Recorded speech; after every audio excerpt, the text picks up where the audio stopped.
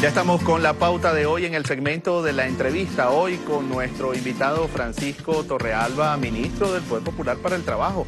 Parece que no había mucho trabajo en la Asamblea Nacional y entonces te convocan a la primera línea de fuego, Francisco, eh, bueno. que es ministro del Poder Popular para el Trabajo. Buenos días, saludos a todos los usuarios y usuarias de Venezolana Televisión.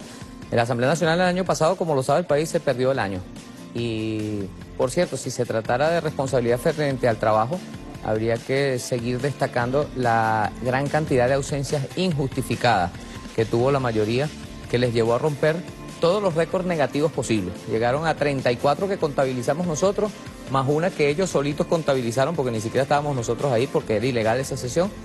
35 eh, ausencias injustificadas. A cualquier trabajador en una empresa pública o privada, por mucho menos de esto, estaría despedido. Yo con lo cual concluyo que los electores de esos ciudadanos, que hoy son mayoría, y que han estado conspirando durante todo el año pasado y que han comenzado muy mal este año 2017, eh, deberían ser evaluados y despedidos, creo yo. Despedidos justificadamente, por no ir a trabajar, por vagos, por flojos, por lo que ya hemos dicho desde la Asamblea. Lo que más llama la atención es que ellos hablan del abandono del cargo por parte del presidente de la República y, resulta que pareciera que los que han abandonado sus propias funciones son los que están en el Parlamento en este momento como mayoría de la Asamblea Nacional. Y ahí están los registros, ahí están los registros. Son ellos los que no van a trabajar, son ellos los que tienen abandonado el Poder Legislativo Nacional. Lo han destruido completamente. Ya lo que queda son prácticamente las ruinas y al parecer el nuevo presidente de la Asamblea Nacional va a ocuparse de destruir incluso las ruinas, destruir lo que ya está destruido. Pero bueno, nosotros seguimos viendo por nuestra parte, seguimos trabajando, eh, seguimos avanzando con el gobierno del presidente Nicolás Maduro Moro y en concreto, bueno, ustedes saben por qué estamos aquí esta mañana. Sí, efectivamente eh, hay un, hay un contraste muy grande, ¿no? Porque cuando se habla de la Asamblea Nacional no hay resultados de ningún tipo acerca del de el carácter eh, propio, la naturaleza que tiene el Poder Legislativo. El año pasado no hubo ningún tipo de respuestas a la gente, sobre todo en el tema económico. Y por otra parte, el presidente de la República acaba de anunciar, arrancando el año, un nuevo aumento del salario.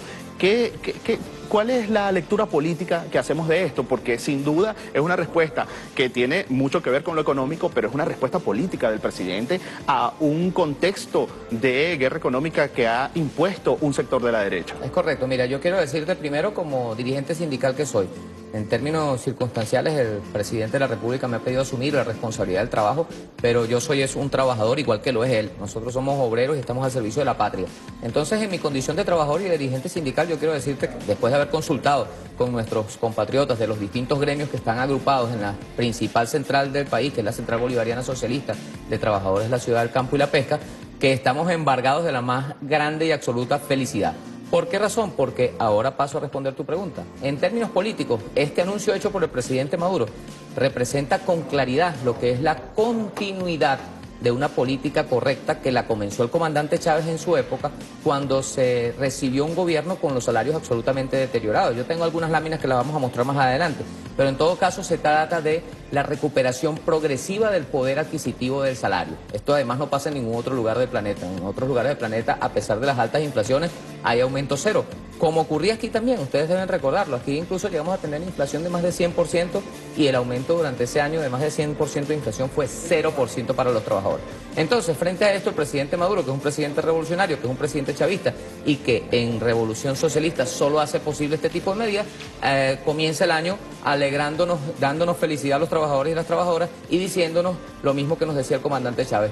Los trabajadores no vamos a pagar la crisis de esta guerra criminal y de esta inflación criminal inducida por la derecha y por los sectores que intentan, bueno, eh, salir del gobierno, de nuestro gobierno del presidente Maduro eh, por vías distintas a, las que están establecidas en la Constitución y en la regla de la democracia. Ahora, fíjese, pero ahí uh, los elementos de la política y de la economía se están entremezclando, digamos, demasiado en los últimos en los últimos tiempos y lo que la gente dice en la calle o una parte de la población dice en la calle es de qué vale un aumento si por otra parte hay unas exageraciones, unos precios absolutamente exagerados. Eh, eh, es decir, pareciera que la medida del, aumento salarial debía acompañarse con otra medida eh, con relación al tema de los precios. Aunque no es su área, sin embargo, usted viene de la Asamblea Nacional eh, y maneja la visión política del gobierno.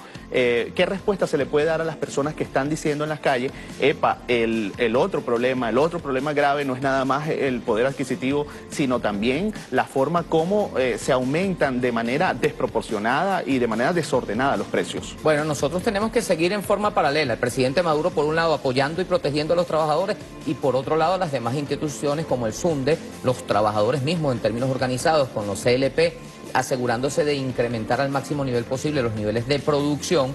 El SUNDE, por otro lado, persiguiendo a los que especulan y acaparan, y por otro lado, nosotros también en despliegue permanente, haciendo el papel que nos corresponde en el marco de esta guerra económica, de la cual somos víctimas todos los venezolanos y venezolanas, indistintamente de su eh, afecto político. ¿no? Entonces, sobre ese tema hay que, tienen que continuar las demás instituciones trabajando. Nosotros desde el sector de los trabajadores tenemos que seguir batallando para que eh, los que especulan, los que acaparan, pues sean precisamente sancionados de acuerdo a las legislaciones que a mi entender con lo que tenemos en términos de ley es bastante, es suficiente. Ahora lo que hay que hacer es que se aplique como lo está haciendo en buena manera, con un gran esfuerzo el compatriota William Contreras desde el SUNDE y como lo tenemos que hacer nosotros. Tenemos incluso inspectores del SUNDE que vienen de la clase obrera y que se ocupan precisamente de la protección del salario por una disposición del mismo presidente de la República que como te digo, eh, lo último que va a hacer es abandonar a los trabajadores y las trabajadoras, a sus hermanos de clase que somos nosotros y por tal razón aplica medidas de este tipo que para algunos pues ya salieron por ahí en algunos lugares a decir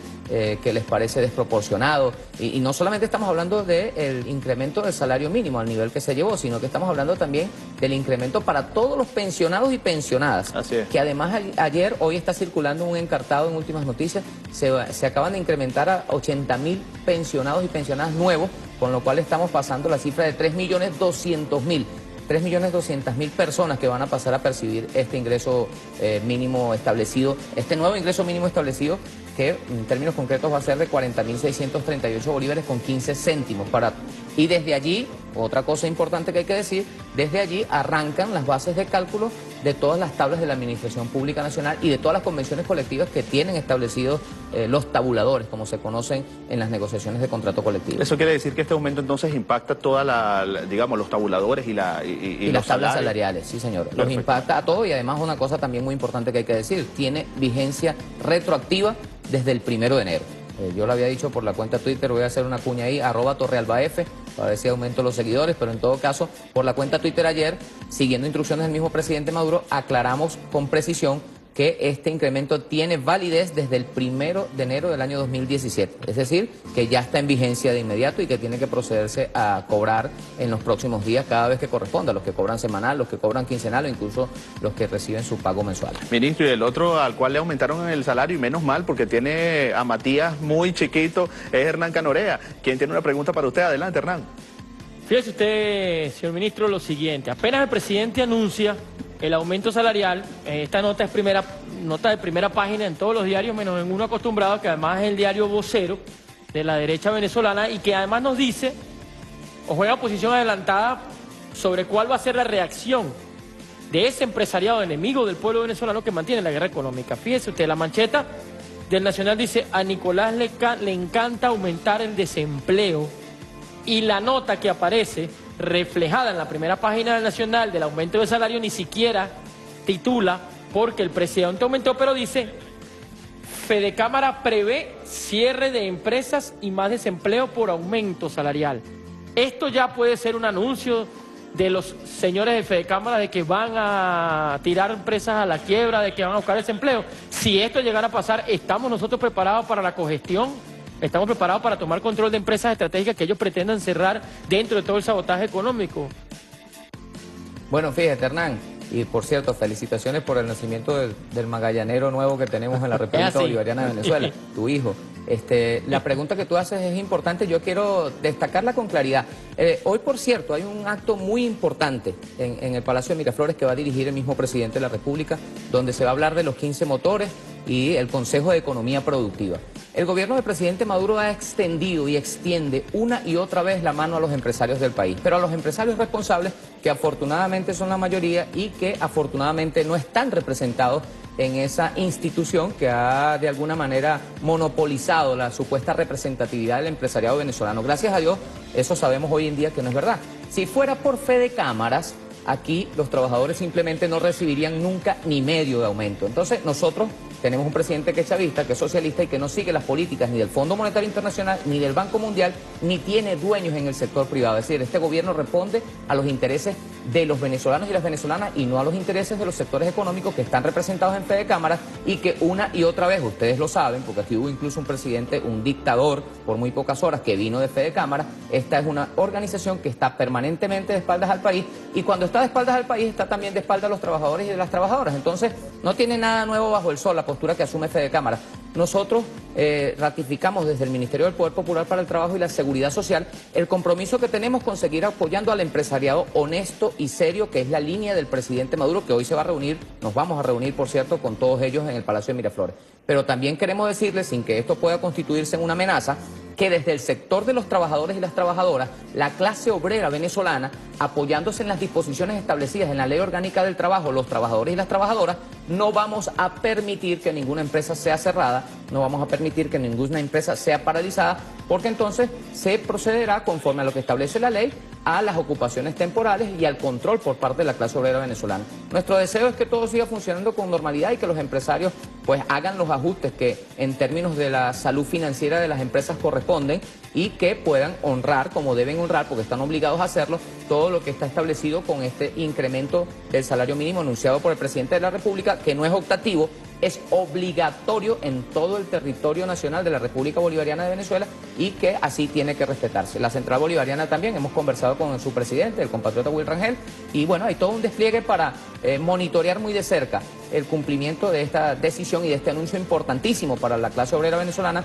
que ha hecho el obrero presidente de la República, Nicolás Maduro Moros. Ministro, mientras algunos factores hablan de desempleo y hablan de cierre de empresas, el presidente de la República dice que se propone la meta de llevar el empleo a 4.5%, lo que significa como romper el, piso de eh, los propios récords de menos eh, desempleo que ha habido durante el, el periodo revolucionario. Vamos a analizar estos, estos temas, estos datos en la próxima parte, en más de esta entrevista política aquí en la pauta de hoy. Ya venimos.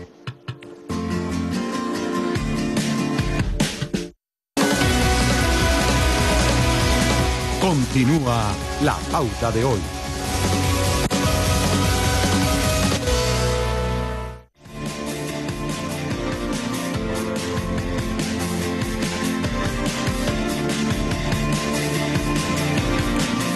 Momento de continuar con la entrevista en la pauta de hoy. Francisco Torrealba, ministro del Poder Popular para el Trabajo.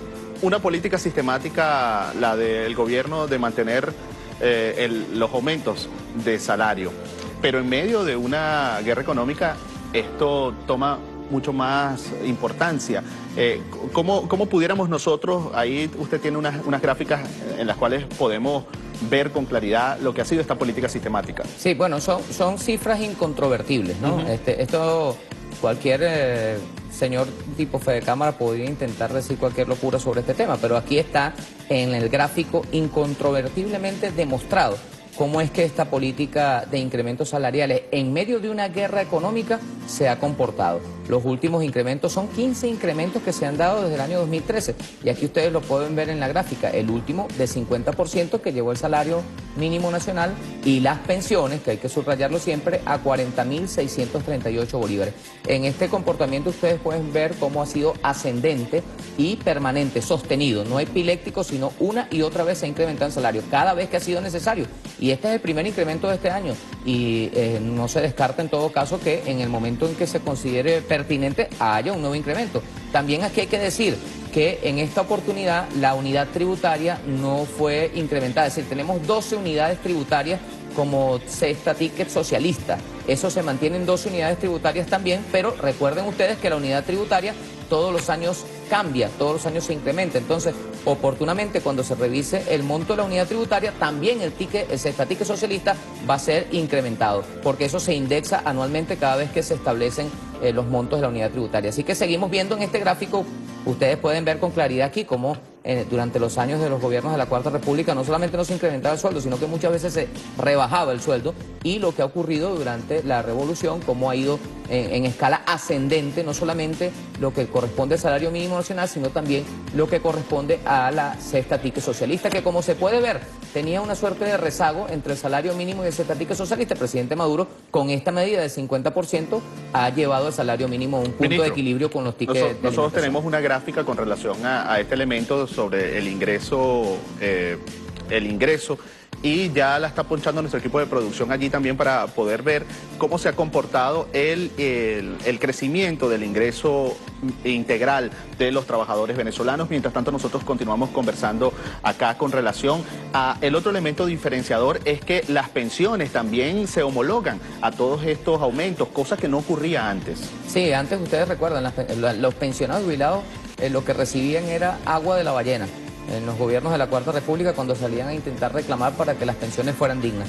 Desde que comenzó la política de la revolución de homologar el monto de las pensiones en, el menor caso al monto del salario mínimo nacional, aquí se ha producido la protección de los pensiones jubilados y se ha mantenido ese equilibrio de revisión permanente del monto de las pensiones y las jubilaciones por vía de los incrementos de salario mínimo, que aquí está también muy claro. Eh, el ingreso mínimo legal, que está compuesto por el salario mínimo más el estatique socialista, 40.638 bolívares con 15 céntimos más 63.720, que son lo equivalente hoy a las 12 unidades tributarias, pero cuando suba la unidad tributaria este monto va a subir, totaliza un ingreso mínimo legal actualmente a partir del 1 de enero de 104.358 bolívares con 15 céntimos. Así... Ministro, hay dos datos, hay dos datos que el presidente anunció ayer y que parecieran estar muy vinculados. Es el tema, por un lado, eh, la propuesta que él hace para este año se pone la meta de llevar el desempleo al 4.5%, sería el más bajo en la historia. Y por otra parte, eh, el presidente anuncia más de 9 mil millones de bolívares para la producción, que está ligada también con los CLAP. Eh, ¿cómo, ¿Cómo se puede lograr esta, esta reducción histórica del desempleo en el país? Bueno, acaba de anunciarse ayer el presidente de la República, no solamente con la designación del nuevo ministro para las obras públicas, el almirante Salazar Col, sino también con el monto que le asignó el presidente en términos presupuestarios para la reactivación de 51 obras de las más importantes que estaban eh, aletargadas, digamos, que estaban semiparalizadas. En todo caso, esa inversión va a generar, solamente esa inversión en el sector de la construcción, por encima de 85 mil nuevos empleos. Eso nos permite pensar, como de forma correcta lo ha expresado el presidente de la República, Nicolás Maduro Moros, en la reducción del índice de desocupados a un mínimo histórico, que todavía no hemos alcanzado de 4.5%. Es una meta eh, bastante ambiciosa, diría yo, pero posible de ser lograda si se mantiene como se ha mantenido la política de protección al ingreso de los trabajadores y de protección al empleo y la calidad del empleo de los trabajadores. Entonces estamos encaminados hacia allá. Nosotros también estamos, como ustedes lo saben, en medio de la guerra económica, desarrollando con la gran misión Abastecimiento Soberano un conjunto de estrategias que tienen que ver no solo con los 15 motores que hoy se reúne presidente, lo repito de nuevo porque es muy importante y hará anuncios importantes, se reúne con todos los empresarios honestos, decentes que están produciendo y trabajando. Es el este relanzamiento del Consejo Nacional de la Economía Productiva. Es el relanzamiento del Consejo Nacional de la Economía Productiva, pero además habrá anuncios importantes y eh, se mantendrá la línea, como ya lo hemos dicho, de apoyo a todo el empresariado honesto que está empeñado en producir y que está, bueno, haciendo el papel que corresponde en términos de patriota, jugando para que en esta guerra que nos tienen al pueblo venezolano nosotros salgamos victoriosos como hemos salido eh, victoriosos en oportunidades anteriores. Pero entonces te decía que con la intención que tenemos de al cierre del año tener los índices de desocupación en un mínimo de 4.5%, con toda esta reactivación de obras que está pendiente, eh, que van a generar muchos empleos en el sector de construcción, con lo que tiene que ver con los CLP, los consejos eh, locales de los, los comités locales de producción de los trabajadores y las trabajadoras, los CPT, perdón, los CPT, Consejos Productivos de Trabajadores, con los Consejos Productivos de Trabajadores eh, que estamos empeñados junto con la Fuerza Armada Nacional Bolivariana, está, en el marco de la gran misión Abastecimiento Soberano, bueno, los CPT van a hacer que nosotros de nuestra parte hagamos desde el sector de los trabajadores y en acompañamiento del gobierno y la Fuerza Armada Nacional todos los apoyos necesarios para que la producción de todos los bienes y de todos los servicios que son en términos generales de consumo masivo y de primera necesidad, de lo que aquí producimos, elevarlo al máximo nivel y también allí puede darse importantes niveles de incremento del empleo que nos permitan reducir la tasa de desocupados a la meta que ha planteado el presidente Maduro. Ministro, hasta ahora vamos a a, interactuar con Barry Cartaya, a ver qué dice la gente en las redes sociales con relación y los portales con relación a este y otros temas. Adelante, Barry. Así es, hermano. Bienvenido el ministro a la pauta de hoy. Ministro, tenemos dos portales. Nos gustaría hacerle dos preguntas al principio y lo vamos a hacer separado. Nos gustaría su interacción al respecto. Comenzamos con la parte industrial. Usted hablaba de Fede Cámara, hacía nuestro hermano Hernán Canorea, lo que es la mancheta el día de hoy y obviamente el titular principal del diario El Nacional. Pero ¿qué dice también Anabel de Web? Industriales y comerciantes desconfían que el nuevo gabinete resolverá la crisis y ellos se apoyan obviamente en la vocería de Conindustria y Conce Comercio que dice que no hay que cambiar ministro, sino cambiar el modelo económico, que decirle a la persona, al sector opositor que cree que tiene que haber en el país un cambio económico para salir de la crisis el cambio del modelo económico que lleva adelante la revolución y el presidente Maduro tiene que ver con, con lo, que, lo que es la esencia del socialismo, que es privilegiar eh, la condición humana de los que vivimos en este país, ¿no? Eh, si nosotros nos devolviéramos, por ejemplo, el modelo económico eh, clásico, ortodoxo, del modelo capitalista, aquí estuviera todo el mundo como estábamos en la Cuarta República, bueno, pasando hambre, simplemente no tendrían incrementos de sueldo, simplemente no habría cómo adquirir los bienes de consumo masivo de primera necesidad, simplemente estaríamos en las manos de los grandes dueños del capital, a los cuales no les importa para nada la gente y los seres humanos que habitamos este planeta, sino simplemente la depredación, acabar con todo y apoderarse de las riquezas que en todo caso en revolución se distribuyen de forma equitativa, justa y correcta entre todos los venezolanos y venezolanas. Así que nosotros estamos en el modelo correcto, que es el modelo socialista, y más temprano que tarde incluso el resto del planeta se dará cuenta que el, modelo capitalista está absolutamente colapsado, absolutamente fracasado. Es el que ha llevado hambre a millones de seres en este planeta y que aquí simplemente nosotros no volveremos a ese pasado. Ahora bien, ministro, también un tema interesante que tiene que ver con las reacciones de algunos opositores a través de las redes sociales luego del anuncio del incremento salarial del 50%. Y vea cómo titula el diario de 2001. Oposición le dio hasta con el todo anuncio del presidente Nicolás Maduro. Y recoge algunas afirmaciones, comenzando con Leopoldo López, que dijo, se buscan una guerra no convencional porque no enfrentan la infracción, que es el peor enemigo del pueblo. Pero el padrino no es el del Banco Central de Venezuela. Alguien podría disfrazarse de pajarito para soplarle o cantarle a Nicolás las reglas elementales de la economía. Algún voluntario, por favor. Heiler Iglesia, quien es líder estudiantil de la UCB, aumentar sueldos sin tomar otras medidas económicas solo profundizará la crisis. Es pura retórica que no soluciona nada. ¿Qué dice Orlando Ochoa, economista y analista? A través del Twitter, gran déficit fiscal y corrupto control cambiario interactúan para causar inflación más alta del planeta. Salario mínimo nunca la alcanzará. Larisa González, diputada, manifestó, Maduro acaba de aumentar el salario mínimo. El pueblo debe saber que este gobierno corrupto no empobrece cada día, nos empobrece cada día más. Y finalmente, Elimar Díaz, coordinadora de Un Nuevo Tiempo. El nuevo al aumento de la miseria en Venezuela. ¿Qué decir, ministro, ante estas reacciones en Twitter? Bueno, nosotros sabemos que la oposición venezolana les molesta mucho que se tomen medidas que protegen a los trabajadores y a las trabajadoras. A la oposición venezolana le encantaría que el gobierno del presidente Maduro dejara morir de mengua a los venezolanos y venezolanas que trabajamos para producir los bienes y los servicios que aquí se consumen e incluso los que salen como el petróleo en términos de exportación para producirnos divisas. Eh, desgraciadamente para ellos, la mala noticia que le tenemos es que el presidente Maduro no va a abandonar a los trabajadores y las trabajadoras, que el presidente Maduro va a continuar en la política correcta que comenzó el presidente Chávez de recuperación progresiva del salario y sostenida como se ha hecho hasta ahora y que nosotros vamos a seguir avanzando. Además hay que decir que el incremento de salario mínimo de manera alguna puede entenderse como incremento en los precios. En las estructuras de costo de las empresas, el costo de lo que es la remuneración de los trabajadores y las trabajadoras no es directamente proporcional a lo que se incrementa. Es decir, si nosotros estamos diciendo que el presidente de la República anunció un incremento del 50%, usted no va a ver reflejado el 50% de incremento en los bienes o servicios que usted quiere, porque en la estructura de costos el, precio que se paga por los salarios de los trabajadores no es directamente proporcional al costo total de lo que se produce. Podría ser, ministro, pero en algunos casos ocurre. Y es precisamente donde, tiene que haber la supervisión. Es correcto, precisamente donde ocurra este tipo de excesos, es decir, que usted venga a decir, no, como aumentaron el salario mínimo, ahora la arepa que valía 100 la voy a vender en 150. Bueno, donde ocurre ese tipo de excesos, habrá que aplicar la fiscalización, la supervisión y las sanciones si fuera el caso. En cualquier manera, nosotros de cualquier forma confiamos en que el comportamiento honesto, eh, va, a va, a prevalecer y que no se va a generar un proceso como el que eh, plantean en este caso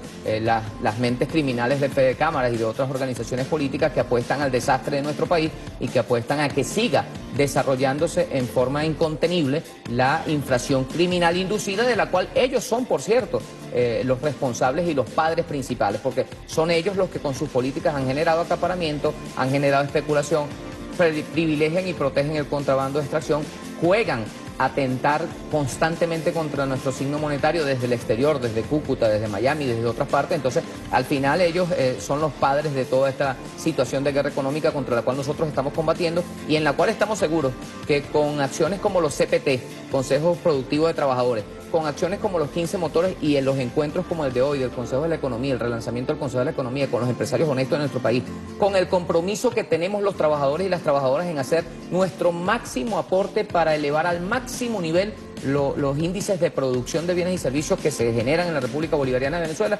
nosotros estamos garantizando que eh, combatiremos eh, a discreción y en toda trinchera a la guerra económica que lideriza la oposición que apuesta al fracaso del gobierno del presidente Maduro. Ahora, ellos no se van a quedar con este, este aumento de salario, es como un golpe, ¿no? Dentro de la guerra económica. Y ellos no se van a quedar con eso. ¿Qué, ¿Cuál sería la respuesta entonces que ustedes pudieran avisorar que puedan tener estos sectores de Fede Cámara y otros sectores de, que están metidos en la guerra contra el pueblo lo, venezolano? Lo, que ha venido diciendo Fede Cámara es lo que dice siempre eh, todo organismo empresarial de este tipo. Eh, ha dicho que los aumentos de sueldo no son convenientes. Es decir, para, para Fede Cámara eh, lo mejor sería que los trabajadores se murieran de hambre. Pero como Fede Cámaras no gobierna en este país, sino que gobierna un presidente chavista, que es un obrero además, Nicolás Maduro Moro, entonces Fede Cámaras se tendrá que quedar con los crespos hechos porque aquí se seguirá aumentando el salario mínimo tanto como sea necesario porque el gobierno del presidente Maduro no va a abandonar a su suerte a los millones de venezolanos y venezolanas que estamos resistiendo también en este combate para derrotar a ellos que son los que pretenden en todo caso ponernos a pasar hambre y llevarnos a la época de ignominia que aquí había durante la Cuarta República cuando la gente no estudiaba, cuando la gente no tenía acceso a vivienda, cuando la gente se moría de hambre, cuando la gente incluso quedaba ciega porque no había quien le atendiera un problema simple de cataratas como los que se han atendido por millones en tiempos de revolución. Agradecemos a Francisco Torrealba, nuevo ministro del Poder Popular para el Trabajo. También le mandamos saludos a Osvaldo Vera, el ministro saliente que eh, lo entrevistamos hace poco. También una entrevista que tuvo mucho impacto en la opinión pública. Nosotros vamos a la pausa y continuamos con más de la pauta de hoy en la próxima parte.